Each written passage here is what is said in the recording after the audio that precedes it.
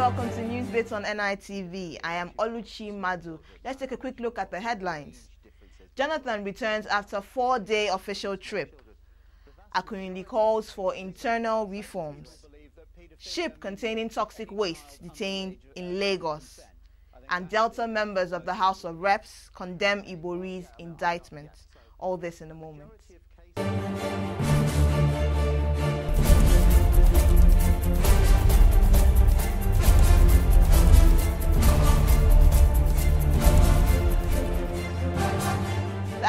President Goodluck Jonathan returned to the country on Thursday morning after a four day official visit to the United States, where he was invited by President Barack Obama to attend the Nuclear Security Summit.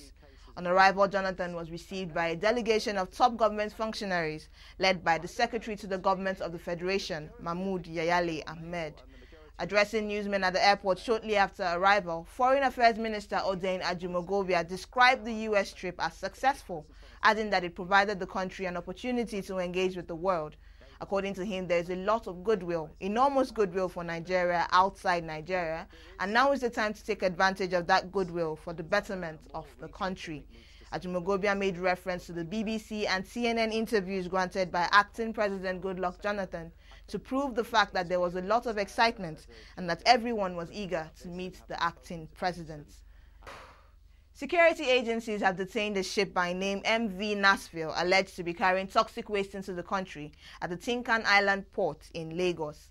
Mr. Musa Ilia, who is the head of public relations Nigerian Ports Authority, said the ship arrived the country on Wednesday evening and is operated by American President Lines, a subsidiary of Singapore-based company Neptune Orient Lines.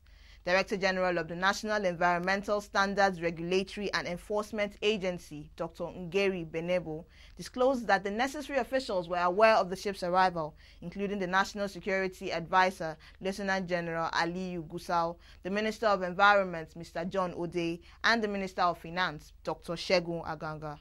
Dr. Elias said that the ship had not discharged and was under detention, as relevant agencies are collaborating to determine the actual contents of the container and will take necessary measures.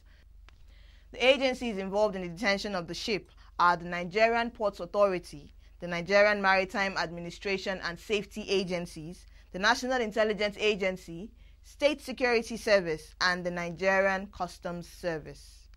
Authorities in the Netherlands, where the vessel had sailed from, had said that it was carrying, among other things, 70 storage lead batteries and broken televisions. The head of public relations to the Nigerian Customs Service, Mr. Wale Adeniyi, however, said that the contents of the vessel would be examined today. The Minister of Information and Communications, Professor Dora Akunyili, has urged media organizations to embark on internal reforms she said this in her address at the Nigeria Union of Journalists 55th anniversary on Thursday in Abuja. The minister, who was represented by the Minister of State, Mr. Labaran Maku, said the reforms would enable the media to play their required role in a thriving democracy and that the reforms should cover such areas as enforcement of professional ethics, capacity building, and staff welfare. Akunyili also informed guests present that the ministry recently set up a special committee to examine the salaries of staff of federal government owned media organizations and make recommendations for consideration. She said the report of the committee was still being awaited. She also called for partnership between the media and government to promote a new political culture, religious tolerance, value reorientation, social development, and the rule of law. Speaking at the event, the NUJ President Malam Garba Mohammed had urged the National Assembly to pass the Freedom of Information Bill. The Delta State Caucus in the House of Representatives has faulted the Economic and Financial Crimes Commission EFCC over the recent indictment of former governor of Delta State, Chief James Ibori, who was declared wanted by the agency a few days ago. The caucus led by Honorable Halims Agoda had asked the EFCC chairman, Mrs. Farida Waziri, to resign her appointment if she was not ready to pursue other known cases of criminality and official corruption pending at various tiers of government in the country. At a news conference in Abuja, the caucus described the process leading to the declaration of Ibori as wanted as a breach of due process and an evidence that Nigeria was again back to the reign of political persecution. The EFCC was accused of pursuing a hidden agenda against Ibori in reopening case files of allegations in which the ex-governor had been tried and discharged in the past.